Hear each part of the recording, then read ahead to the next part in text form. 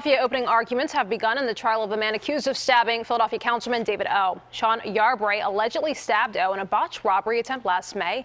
Prosecutors say Yarbrough demanded Oh's car keys as the councilman walked toward his Kingsessing home and then stabbed him.